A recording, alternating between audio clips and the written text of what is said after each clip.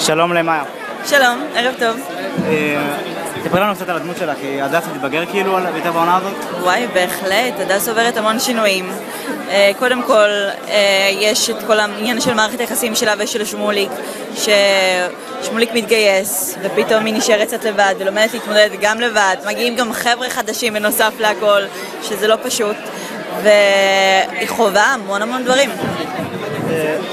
יצא לך להתאהב במישהו שיותר מבוגר ממך במציאות?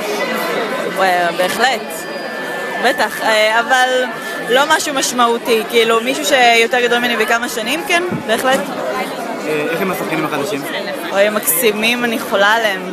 אני, אני מאוד אוהבת אותם, הם השתלבו תוך רגע וישר אה, הפכו להיות חלק מהחבורה.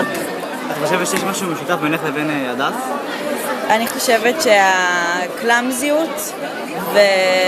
והרצון הטוב שלה, הדס מאוד, היא, היא חברה אמיתית וחשוב לה שיהיה לכולם טוב. וזה משהו שאני, גם לי המון פעמים אה, יש, אני מעניקה המון המון חשיבות אה, לסביבה שלי ואני גם קלאמזית בנוסף לכל.